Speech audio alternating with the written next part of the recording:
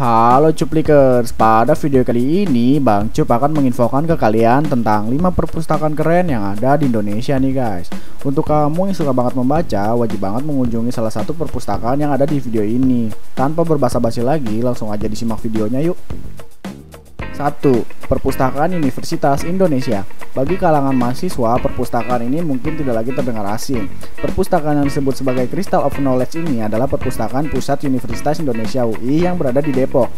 Dengan luas 2,5 hektar, perpustakaan ini menyediakan 3 hingga 5 juta judul buku. Setiap harinya sebanyak 20.000 pengunjung datang setiap hari. Tapi kalau lagi pandemi seperti ini, Bang Cup nggak tahu berapa pengunjung yang datang ke perpustakaan ini ya guys. Kalau kamu ingin mengunjungi perpustakaan ini, jangan lupa pakai masker dan selalu bawa hand sanitizer ya.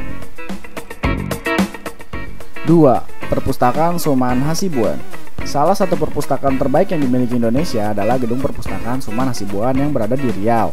Perpustakaan ini bahkan mendapat predikat sebagai perpustakaan terbaik se-ASEAN pada 2015. Dibangun dengan menerapkan filosofi Islam, perpustakaan ini juga dilengkapi berbagai fasilitas memadai seperti kantin, musola, ruang pertemuan, kids corner, hingga ruang auditorium. Gimana guys, tertarik kamu gak datang sini?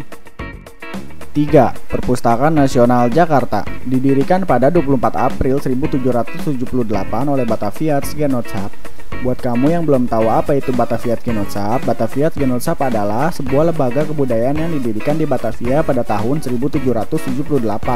Mungkin pas lembaganya dibangun langsung kepikiran buat bikin perpustakaan ini kali ya guys. Perpustakaan Nasional Jakarta ini juga masuk dalam deretan kampus terbaik di Indonesia. Tidak hanya itu, perpustakaan ini juga disebut sebagai perpustakaan tertinggi di dunia dengan memiliki 27 lantai yang dilengkapi fasilitas memadai.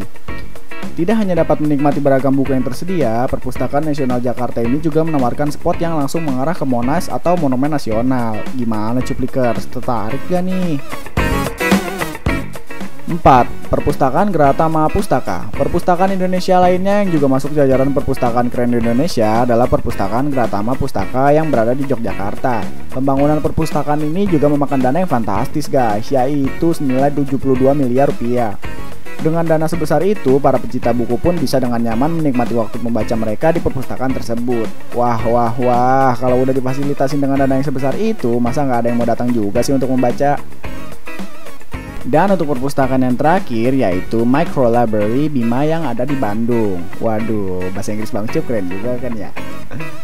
Kalau dibandingkan dengan keempat perpustakaan sebelumnya, Micro Library memang berukuran lebih kecil. Lahannya hanya seluas 160 meter persegi. Walaupun begitu, perpustakaan yang dirancang oleh SHAU Arsitek ini begitu unik. Di bagian dinding luar perpustakaan terdapat fasad dari wabah bekas es krim yang dibentuk sedemikian sesuai pola binary code sehingga bisa diterjemahkan sebagai buku adalah jendela dunia. Berkat inovasi tersebut, Micro Library Bima pun berhasil menang di ajang Artizer Apes Award. Walaupun sekarang koleksi bukunya belum terlalu banyak, perpustakaan satu ini memiliki beberapa program menarik seperti storytelling, English Club, dan gemar membaca. Ingat ya cuplikers, knowledge is a power. Semakin kaya pengetahuan yang kamu ketahui, maka kamu juga memiliki lebih banyak bekal untuk mengejar mimpi di era digital seperti sekarang. Mencari dan mendapatkan pengetahuan memang bisa dilakukan dengan mudah melalui internet. Walaupun begitu, sampai sekarang pun buku masih menjadi sumber informasi yang sangat powerful dan tentunya reliable.